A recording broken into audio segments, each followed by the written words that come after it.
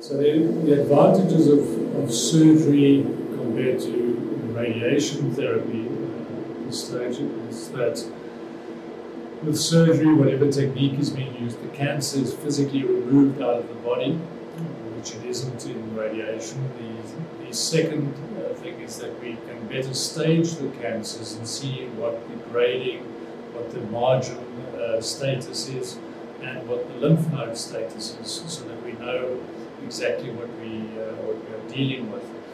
Um, the various types of surgery obviously have different uh, advantages and disadvantages. Robotic surgery compared to open surgery is obviously less invasive, less uh, bleeding, uh, and better preservation of uh, the quality of life functions such as erectile function and urinary continence. Uh, the disadvantage of that is that it is slightly more expensive, uh, but the costs are coming down uh, significantly. Uh, the other advantage of the surgery over radiation therapy is that you can have radiation therapy in reserve if something does flare up again and, and uh, start growing. We pick it up with a blood test, the PSA, which starts rising, and you can then offer the what we call salvage or additional radiation from surgery to mop up any uh, cells that may start growing again.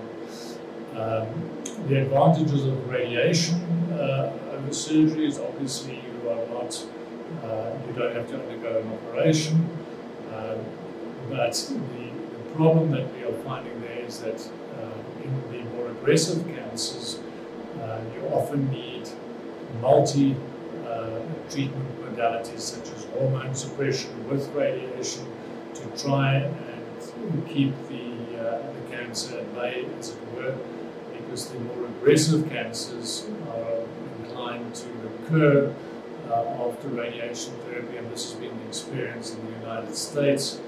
Um, then you have the problem that because of the aggressive radiation, it's very difficult to then uh, do surgery after the radiation um, because of the, uh, the scarring from the, from the radiation.